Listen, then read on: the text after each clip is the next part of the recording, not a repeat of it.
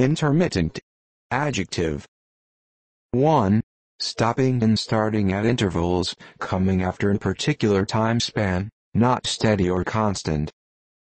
For example, the day was cloudy with intermittent rain.